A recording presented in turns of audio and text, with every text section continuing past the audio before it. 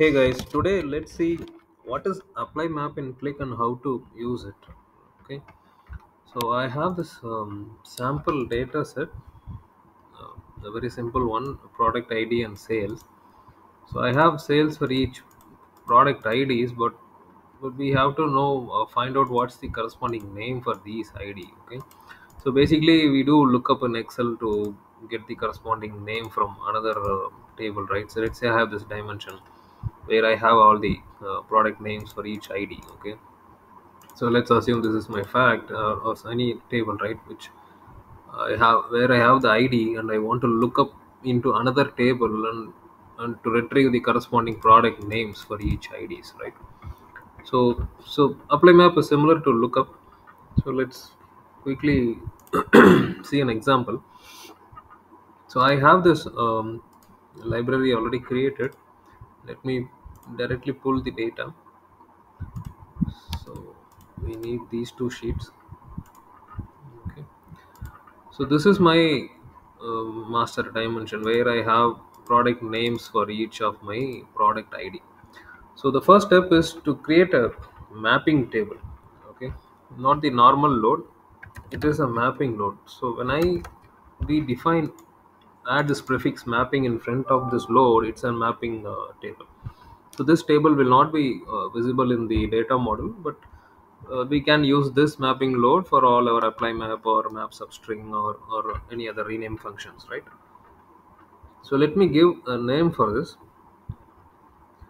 Let's say product lookup.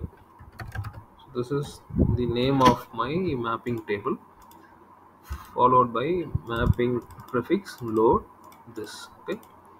Now this is my actual table. Let's say sales table. now I have product ID and sales. Okay. Now I want to identify the names of these product IDs. Okay, so I should start with apply map function. So when you say apply map, it says a map name, the expression, the default mapping. Okay, so let me start with the map name in single quotes. Map name is nothing but the name of the mapping table, so it should be this product. So product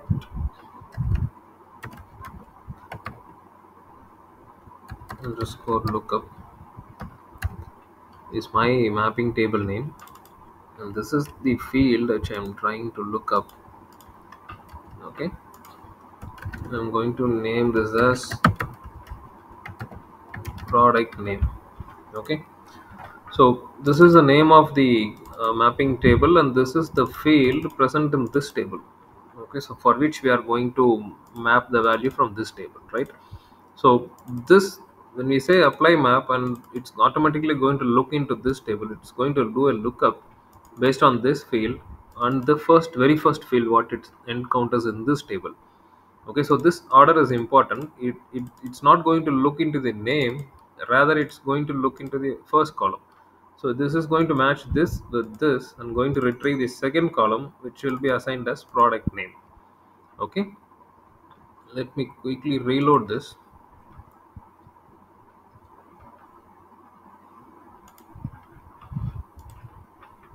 Let us confirm the data with the data model viewer. So as mentioned earlier this mapping table will not be visible in the data model layer. Instead you will see only the final table. Even though the mapping table is not visible still it can be accessed okay either through apply map function or map substring etc so now as you could see uh, we have got all the matching product names right for each of the ids and you could see 11 and 12 over here which doesn't have a matching entry. See i have 11 and 12 here which there is no matching record here. So there is no product name. So it it, it, it assigns the same product id over here. Okay so we have the flexibility to give a name to this um, value default value. Okay so let me add a third parameter. I can give any value, let's say not applicable or not available, whatever, right? So I'm just giving it this as a third parameter. At the same time, uh, I will try. We discussed about the column order, right? We will also uh, experiment that as well. Let's say I am renaming this as product ID. So now this column name is not different. Uh, I mean, not the same. It is different now. So apply map should ideally look for the order. It should look into the first column, it not into the name, but to the content, right? So let's quickly reload. We'll verify this and we'll verify this as well.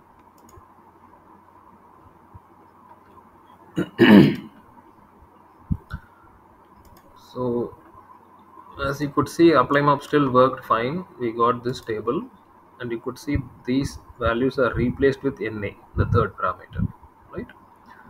So this is how apply maps uh, works, and we can use this for these kind of scenarios where you want to look up a column and get a value. Uh, it could be a country code, to get a country name, or, or any one-to-one mapping, right?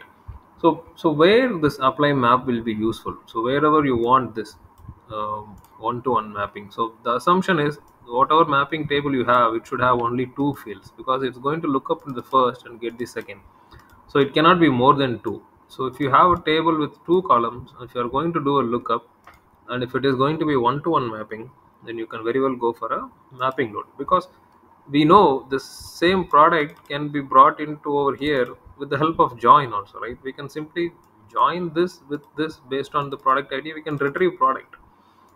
But apply map has got these benefits okay? So one it can it has the ability to give a third parameter where not matching values can be given a name.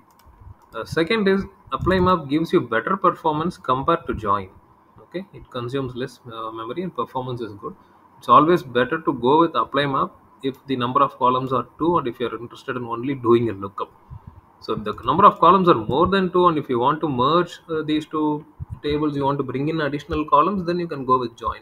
If not, apply map would be a, a preferred mode. Okay. So hope um, so far you are clear with the concepts of apply map.